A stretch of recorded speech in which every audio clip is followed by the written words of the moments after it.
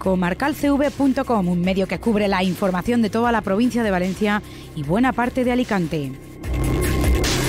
No es un medio digital nuevo, es una evolución, la unión de medios referentes en sus comarcas para competir entre los mejores. Entre esos medios está la redcomarcal.com. No lo dudes, visita comarcalcv.com. Ofrece un histórico detrás de 1,3 millones de páginas vistas en 2016 y cerca de 800.000 usuarios únicos. Cuenta con una hemeroteca de más de 26.000 noticias. Todos los días visita comarcalcv.com.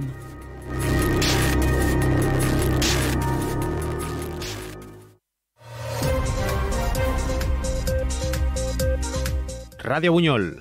Servicios informativos.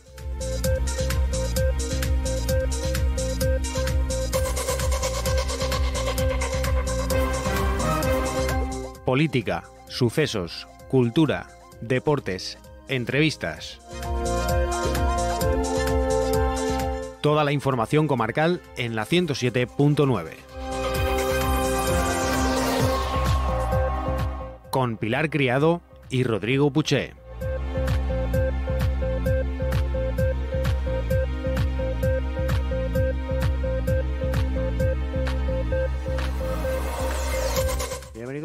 Edición de nuestros informativos correspondiente a este viernes 11 de octubre. Comenzamos con la lectura de titulares. Hola, buenos días, bienvenidos. Arrancamos. La Generalitat Valenciana realiza el mayor incremento de profesionales de salud mental aprobado hasta el momento con la creación de 200 nuevos puestos. La Comunidad Valenciana aprueba que la prueba de acceso a la universidad se celebre el 3, 4 y 5 de junio de 2025. Labora convoca las nuevas escuelas taller dirigidas a jóvenes entre 16 y 29 años que alternarán la formación con el trabajo. La alcaldesa de Buñol confirma el inicio inminente de la licitación de las obras de adecuación del antiguo IES para Escuela Oficial de Idiomas y Conservatorio de Música Profesional. Los alcaldes de Utiel y Buñol esperan que la modernización de la vía vaya acompañada de una mejora del servicio de la C3. El Ayuntamiento de Buñol, en colaboración con la Mancomunidad Olla de Buñol Chiva y Cibervoluntarios, lanza una nueva actividad extraescolar. Godelleta mejorará caminos y accesos a zonas residenciales con la inversión de la Diputación de Valencia.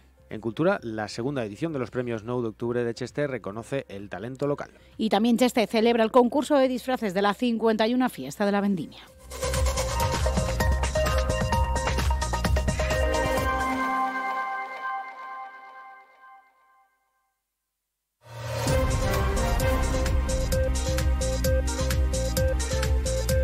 La Generalitat ha llevado a cabo en el mes de septiembre el mayor incremento de profesionales de salud mental aprobado hasta la fecha, con la creación de 200 nuevos puestos de trabajo, lo que incrementa la plantilla en un 21,4%.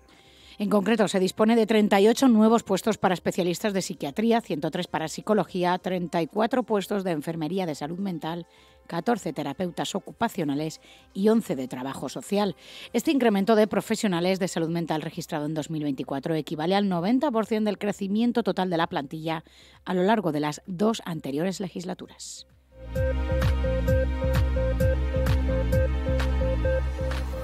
En este sentido, la vicepresidenta y consellera de Servicios Sociales, Igualdad y Vivienda, Susana Camarero, insistía en el compromiso del Consejo con la salud mental mediante una política de 360 grados y trabajando desde la prevención. Así señaló que es importante la coordinación entre las distintas consellerías que abarcan ámbitos relacionados con la salud mental. Camarero se pronunció de este modo tras la reunión de la Comisión Interdepartamental de Salud Mental y Adicciones, en la que participó junto con la vicepresidenta, el consejero de Sanidad, Marciano Gómez, el consejero de Educación, Cultura, Universidades y Empleo, José Antonio Rovira, y el director de la Oficina Autonómica de Salud Mental y Adicciones, Bartolomé Pérez. La reunión de la Interdepartamental coincide con la celebración el pasado jueves, ayer 10 de octubre, del Día Mundial de la Salud Mental.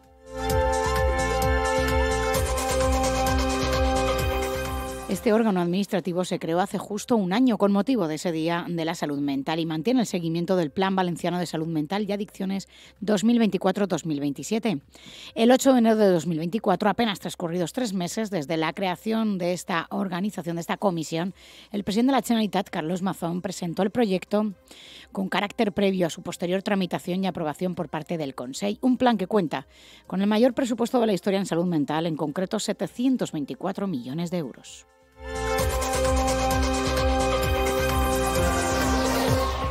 Una vez concluida la tramitación administrativa, este fue aprobado por acuerdo del Consejo el 27 de julio de este año. El Plan Valenciano de Salud Mental y Adicciones incluye 88 acciones prioritarias integradas en nueve líneas estratégicas.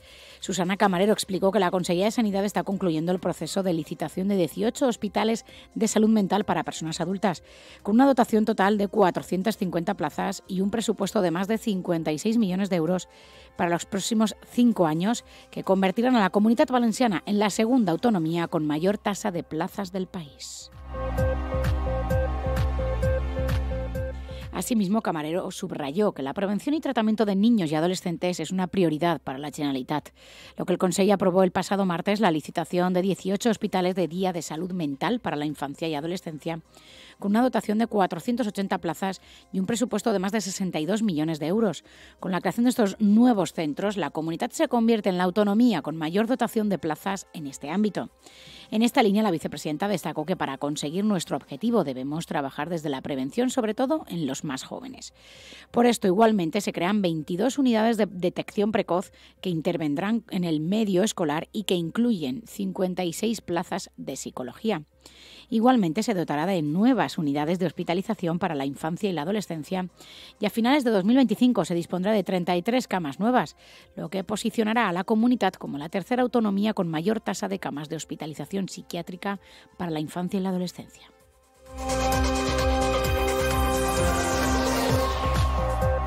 La vicepresidenta incidió en la necesidad de formar y ayudar a los docentes y personal educativo para detectar en origen cualquier signo que pueda indicarnos que existe una patología. Para ello se ha puesto en marcha el programa para la promoción del bienestar emocional y la prevención de las adicciones en el medio escolar. El presupuesto destinado para esta actuación es de más de 10 millones de euros, constituyendo la mayor oferta preventiva realizada hasta la fecha en la Generalitat Valenciana. Para la conmemoración del Día Mundial este año, la OMS quiso hacer hincapié en la salud mental en el ámbito laboral.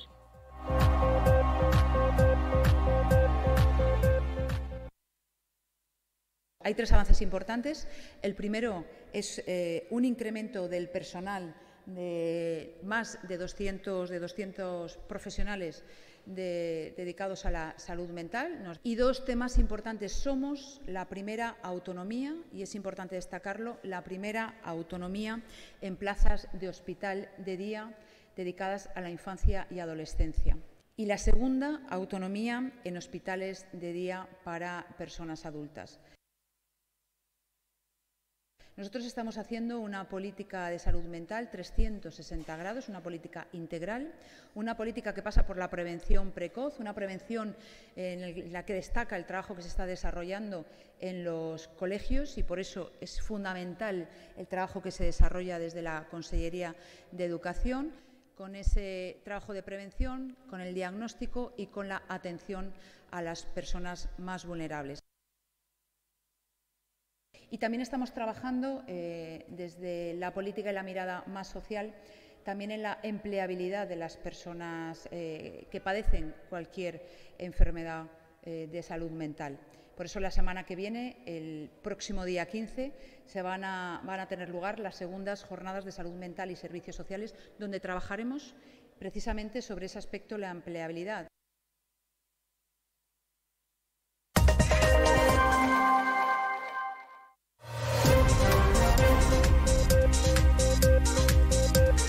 La Comisión Gestora de la PAU, la Prueba de Acceso a la Universidad, ha aprobado que la de 2025 se celebre el 3, 4 y 5 de junio en la convocatoria ordinaria y 1, 2 y 3 de julio en la extraordinaria.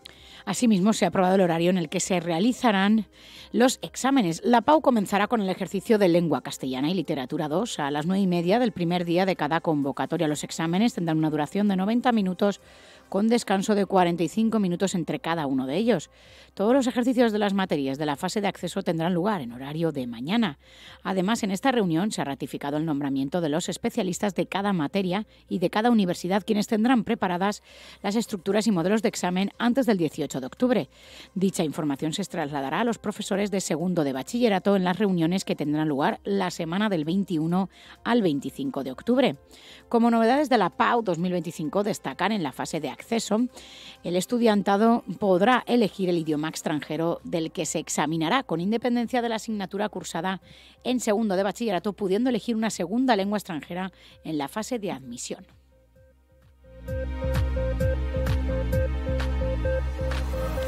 Además, se introducen en la fase de acceso los exámenes correspondientes a las materias del bachillerato general. Por último, en la fase voluntaria, los estudiantes podrán examinarse hasta tres asignaturas sin contar la lengua extranjera. A la comisión gestora presidida por la secretaria autonómica de universidades, Esther González, Esther Gómez, asistió el director general de universidades, José Antonio Pérez Juan, el coordinador de la PAU, Tony Hill, el director general de Ordenación Ejecutiva y Política Lingüística, Ignacio Martínez, los vicerrectores y vicerrectoras de las universidades públicas valencianas, así como representantes del profesorado de bachillerato de centros públicos.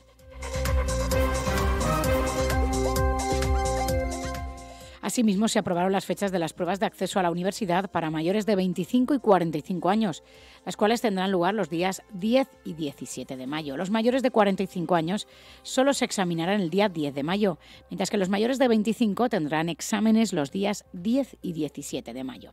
La principal novedad de estas pruebas es que desaparece la máxima optatividad acordada en etapa COVID, volviendo a la optatividad que había antes de 2020.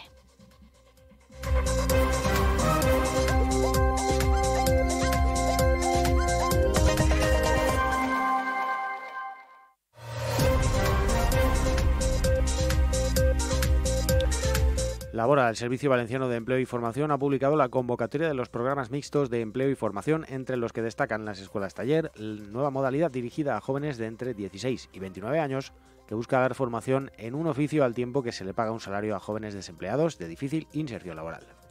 Junto a las escuelas taller también se ha convocado el programa mixto eh, de empleo y formación Acción Inserta, dirigido a personas en situación de vulnerabilidad y los talleres de empleo para personas que no tienen trabajo, todos ellos con el objetivo de mejorar la empleabilidad de personas de difícil inserción en el mercado laboral. El secretario autonómico de Empleo, Antonio Galvain, destacaba que más de 3.000 personas podrían ser beneficiarias de las convocatorias de estos programas que ofrecen un salario a las personas desde el primer día que inician su formación. Asimismo, puso en valor la inversión del Consejo en estas iniciativas, que superan los 75 millones de euros. Galvain puso de relieve que Labora ha puesto en marcha por primera vez el programa de escuelas taller dirigido de manera específica a los más jóvenes. La empleabilidad de la juventud es una prioridad para el Consejo, aseguró el director de Labora, que recordó el programa Primera Experiencia, también novedoso. Este programa mixto se realiza en colaboración con los ayuntamientos, las mancomunidades, entes públicos dependientes de las mismas, pactos territoriales de empleo, así como asociaciones, fundaciones y otras entidades privadas sin ánimo de lucro. Las escuelas talleres son una apuesta novedosa de Labora por la formación e inserción laboral de los jóvenes entre 16 y 29 años que estén en desempleo y se prevé que sean más de 400 las personas jóvenes que puedan beneficiarse de los mismos. Labora destina casi 10 millones de euros a su realización. La duración total del taller será de 12 meses, de los cuales los tres primeros serán de carácter formativo. Los proyectos que se llevan a efecto desarrollarán especialidades conducentes a la obtención de certificados profesionales oficiales completos. El alumnado participante recibirá dos certificados profesionales, uno de nivel 1, que coincidirá con la primera fase, y otro de nivel 2, o la impartición de un solo certificado de nivel 2.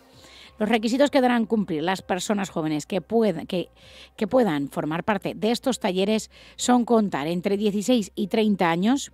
Los menores de 18 años, pero mayores de 16, deberán aportar los consentimientos y autorizaciones preceptivas, estar en situación de desempleo y cumplir los requisitos establecidos para el acceso a las acciones formativas.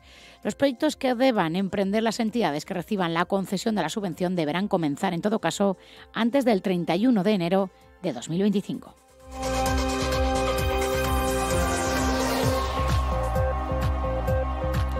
Se ha convocado la primera etapa del programa mixto de empleo y formación Acción Inserta. Se estima que con los casi 10 millones convocados serán más de 700 las personas que puedan participar en ellos. Esta primera fase de los talleres Acción Inserta se prolongará durante seis meses en los cuales se impartirá una formación que posibilitará al alumnado trabajador la adquisición de un certificado profesional de nivel 1. Estos proyectos deberán formarse con al menos el 50% de mujeres como alumnas trabajadoras.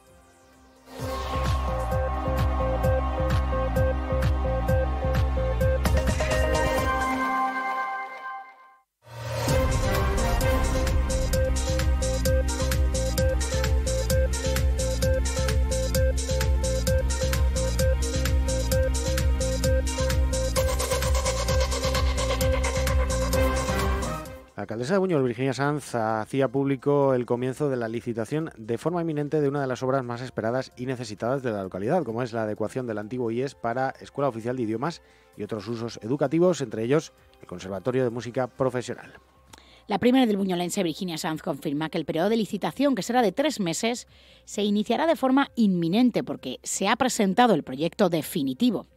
Esto supone que las obras para adecuar el antiguo IES de Buñol para Escuela Oficial de Idiomas y Conservatorio de Música Profesional, entre otros usos educativos, arrancarán en el primer semestre de 2025. Virginia Sanz informa de que el proyecto definitivo y visado se ha presentado en el ayuntamiento, lo que supone el anuncio de manera inminente de la licitación de las obras. La primer deal se mostraba muy satisfecha porque supone que el año próximo puedan arrancar las obras del nuevo Conservatorio Profesional de Música y Escuela Oficial de Idiomas, servicios muy demandados y necesitados de una profunda adecuación.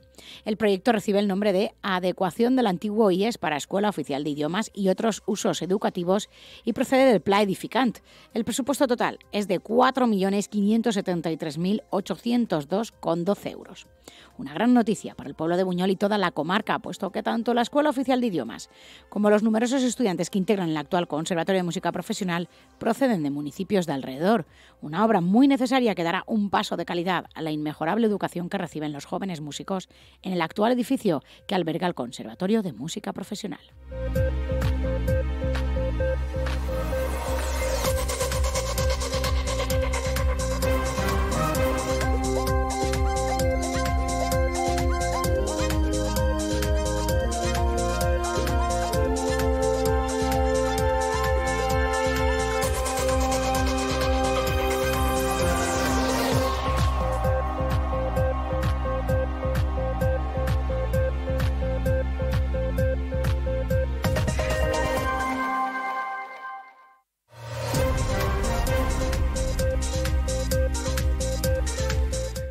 Anuncio del Gobierno central de que se va a renovar el tramo ferroviario Buñol-Utiel. En el día de ayer, los líderes de Buñol y Utiel consideran necesaria la renovación de las vías ya que apuntan están muy deterioradas. Tal como avanzó la cadena SER, el Gobierno de España invertirá 101,8 millones de euros en la renovación integral del tramo ferroviario Buñol-Utiel, con el objetivo, según apunta el Ministerio, de reforzar la viabilidad, la fiabilidad de la red y mejorar la calidad del servicio ferroviario. Tanto Ricardo Gabaldón, alcalde de Utiel, eh, así como también Virginia Sanz, alcaldesa de Buñol, coinciden que la renovación de las vías era algo necesario, pero es necesario también una mejora del servicio de la línea. Gabaldón apunta que la modernización de las vías tiene que ir acompañada de una reducción del tiempo total del trayecto. En este sentido, el alcalde de Utiel señala que no puede ser que el trayecto en tren a Valencia sea de dos horas, más del doble de lo que dura el trayecto en coche. El proyecto permitirá renovar el carril las traviesas y el balasto de la vía, así como también la adecuación de los andenes de las estaciones y la adaptación de 13 túneles para su futura electrificación. Una electrificación que no se realizará en este proyecto. Precisamente Virginia Sanz, alcaldesa de Buñol, apunta a esta circunstancia. Cree que es necesario dar pasos hacia la electrificación, sobre todo entre Valencia y Buñol. Recordemos que el Ministerio de Transporte y Movilidad Sostenible invertirá 101,8 millones en la renovación integral del tramo Buñol-Utiel, por lo que circula la, por la que circula la línea C3 de cercanías. El objetivo, dice el Ministerio, es reforzar la fiabilidad de la red y mejorar la calidad del servicio ferroviario en el marco del plan de cercanías de la Comunidad Valenciana.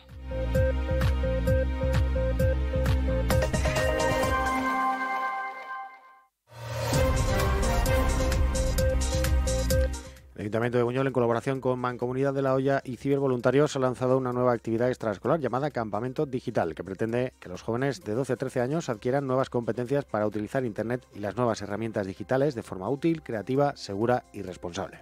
Esta actividad dará comienzo el 28 de octubre y finalizará el 18 de noviembre. Se realizará los lunes y miércoles de 5 a 7 en el edificio de la Escuela Popular de Adultos de Buñol ubicado en la avenida Rafael Ridaura número 13 de la localidad. Para participar solo tienes que inscribirte en el QR de la publicación que aparece en las redes sociales del Ayuntamiento y de Radio Buñol.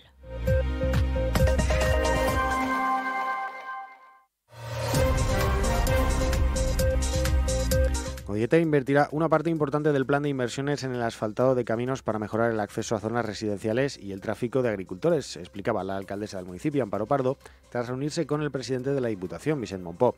En el encuentro analizaron las mejoras que el municipio de la, de la Hoya de Buñol realizará con ayuda de la Corporación Provincial.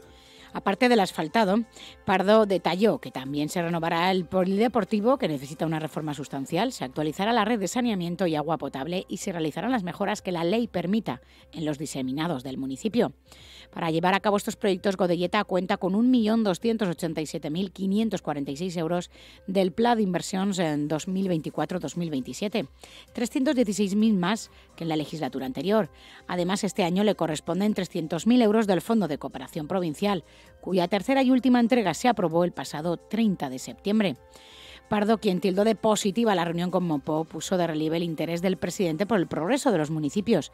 Agradecemos que siempre esté pendiente y nos atienda cuando lo necesitamos. Es fundamental para los municipios tener el respaldo de la Diputación.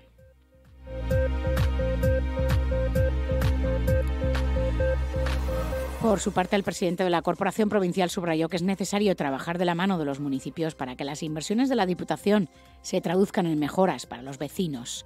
Es lo que estamos haciendo, es una prioridad para que nuestro para este nuestro equipo de ser un apoyo real para los pueblos, sobre todo para los más pequeños, que son los más vulnerables y los que más nos necesitan, esgrimio.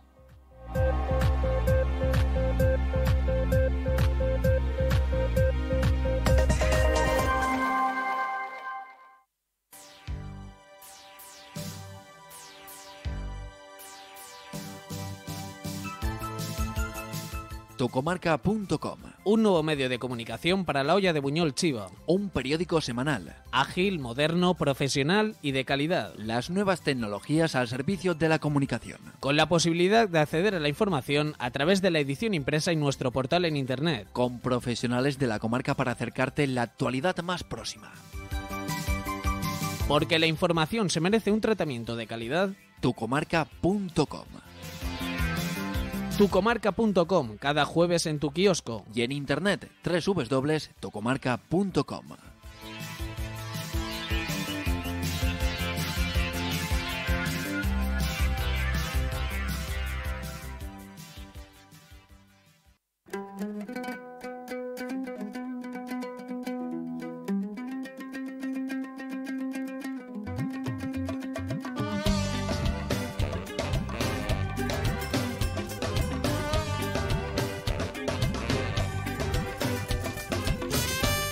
Abrimos apartado cultural el pasado 9 de octubre. El Salón de Plenos de Cheste acogió la segunda edición de los premios 9 de octubre, convocados con el objetivo de reconocer el talento local y la contribución social de personas y entidades de ámbitos como la cultura, la investigación, la educación o el emprendimiento.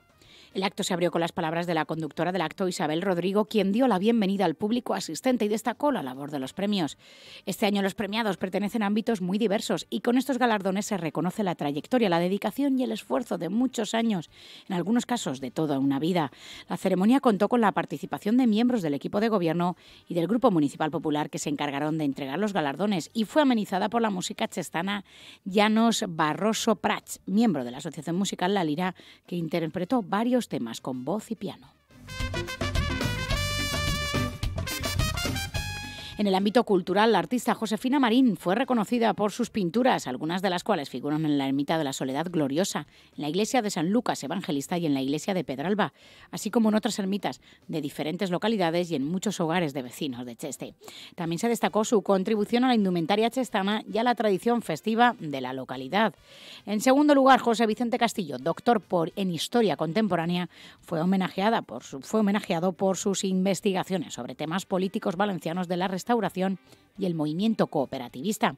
En el ámbito de la investigación científica, se premió al matemático Juan Carlos Ferrando Pérez por su trayectoria de más de 30 años en la investigación en el ámbito del análisis funcional y la topografía descriptiva. Por su contribución también en el ámbito científico fue galardonado el doctor en física Germán Vicente Rodrigo García, investigador del Consejo Superior de Investigaciones Científicas CSIC. Rodrigo ha trabajado como investigador en el Instituto de Tecnología de Karlsruhe, en Alemania, y en el Instituto Nacional de Física Nuclear de Florencia, Italia, así como en el Laboratorio Europeo de Física de Partículas de Ginebra, Suiza. La peluquería La Calle fue reconocida en el ámbito del emprendimiento por su larga trayectoria y por ser un espacio emblemático de la localidad desde su fundación en 1886 por Alberto Lacalle hasta su cierre en 2022 con la jubilación de su bisnieto, también llamado Alberto Lacalle, que recogió el galardón.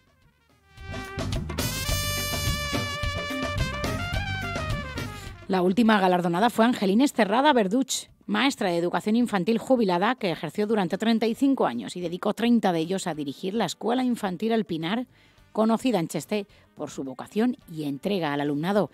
El alcalde José Morey cerró el acto dedicado, dedicando unas palabras a los premiados. Un pueblo se construye con la labor constante y silenciosa de muchas personas que con su dedicación le dan vida. Finalmente, todas las personas reconocidas dejaron una dedicatoria en el libro de firmas del Ayuntamiento de Cheste.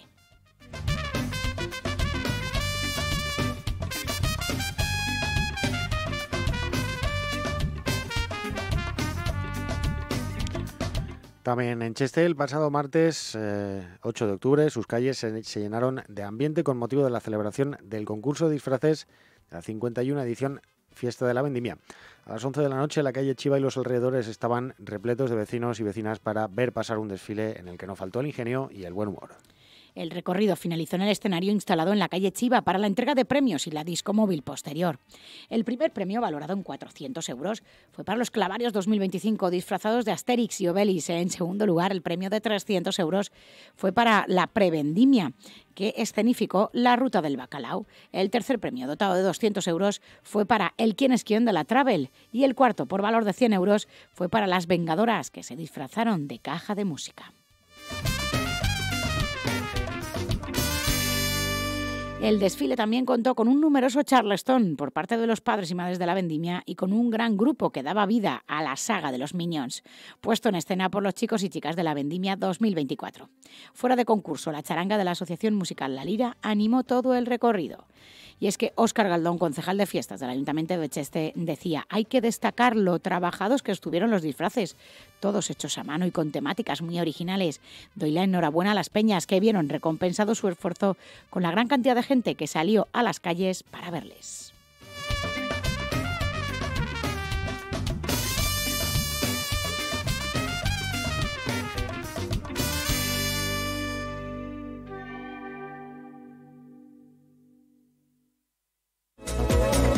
Hoy un clic, el nuevo diario digital de la olla de Buñol Chiva.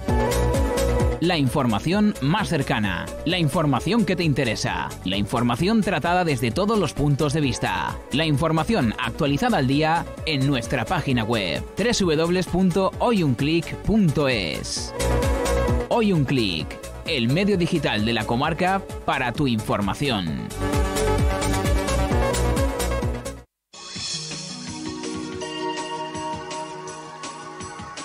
Vamos ahora con la previsión meteorológica para la jornada de hoy y el fin de semana con Conrado Hortelano. Buen día desde el Observatorio Meteorológico de Buñol. La noche pasada la temperatura mínima ha sido de 11 grados positivos, ayer la máxima de 24. A primera hora de la mañana la humedad ambiente al 67% y el viento de 24 kilómetros por hora. El pronóstico para la jornada de viernes, mañana sábado y el próximo domingo, todo apunta a que tendremos cielos con nubosidad variable y probabilidad de alguna precipitación débil. Las temperaturas, eh, tanto máximas como mínimas, descenderán. Las temperaturas mínimas a primera hora de la mañana en las poblaciones de la comarca. 11 grados hemos tenido a Buñol y también a Sierra Cabrera Parque Eólico. 7 a 7 aguas, 11 a Macastre, 14 a Chiva y Cheste, 16 a Calicanto, 13 a Turís y Godelleta y 12 grados positivos a la orillilla y Reba. La nit passada la temperatura mínima ha sigut de 11 graus positius i la màxima de 24. A primeres hores del matí la humitat ambiente al 67% i el vent de 24 km per hora. El pronòstic per la jornada d'avui divendres, demà dissabte i diumenge, tot apunta que tendència a la nubositat variable amb probabilitat d'una precipitació dèbil. Les temperatures, tant màximes com mínimes, baixaran.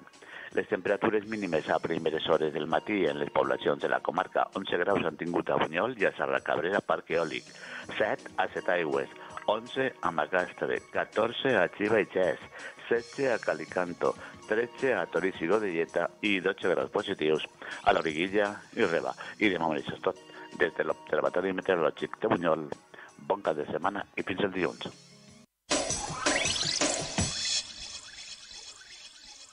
Así es Buñol Magazine. La revista de comercio, ocio y cultura de Buñol ya disponible en kioscos, comercios colaboradores e internet. En ella encontrarás información de actualidad, servicios, alimentación, cultura y mucho más.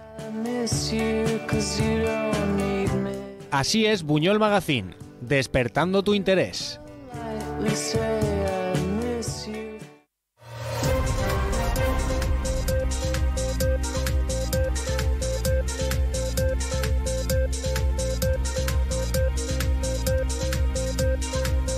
Y pondremos punto de final a este informativo con la lectura de comunicados. La Biblioteca Pública Municipal, cronista Fernando Balarza de Buñol, organiza para este mes de octubre diversas actividades. El viernes 18 de octubre se proyectará el documental Encuentros de Exilio y charla a cargo de CEAR, Comisión Española de Ayuda al Refugiado. Miércoles 23 a las 7 se presentará el libro de Susana Martínez, Desichos de Papel, a cargo de la autora Imanel Pastor. Por último, jueves 31 a las 6 de la tarde en la Sala Raga, Club de Lectura de la obra Un Cambio de Verdad de Gaby Martínez. La Junta Directiva de la Asociación de Pensionistas y Jubilados de La Hoya recuerda a los socios que el límite de pago de cuotas para la caja de Navidad será hasta el 31 de octubre, también para las nuevas altas de socios. El horario de atención al público es en el hogar del jubilado, lunes y miércoles de 5 y media a 7 de la tarde. La Biblioteca Pública Municipal de Buñol comunica que el próximo 24 de octubre se organiza en la Sala Raga a partir de las 7 de la tarde la fiesta Estellés. Se proyectará el documental Estellés, poeta de Meravellés, y a continuación mesa redonda Els lectors de Estellés, que contará con la participación de profesorado del Departamento de Valenciano del IES Olla de Buñol. Royal Global US informa que el 27 de octubre en la Sala Raga a las 6 de la tarde habrá un concierto pre-Congreso Nacional de Clarinetes que se celebra en Córdoba. Un gran concierto nos espera. El Ayuntamiento de Yatoba informa en su web de la ordenanza reguladora del alquiler joven de las viviendas municipales sociales del consistorio, así como los criterios de adjudicación, normas de funcionamiento y uso de las mismas. El plazo de solicitud finaliza el próximo 21 de octubre. Policía Local de Buñol informa de la instalación de la ITV móvil en el polígono del Llano del 14 al 18 de octubre. La ITV móvil dispondrá de los siguientes horarios, de lunes a jueves de 9 de la mañana a 5 y media de la tarde, viernes y víspera de festivo de 9 a 2 y media, excepto el día 14 de octubre, que la unidad se traslada de Villar del Arzobispo a Uñol y la hora de llegada estimada será a la 1 de la tarde. La ITV móvil atenderá a los usuarios por orden de llegada sin necesidad de cita previa.